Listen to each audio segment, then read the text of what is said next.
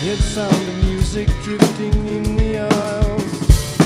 The elevator Prozac stretching on for miles. The music of the future will not entertain. It's only meant to repress and neutralize.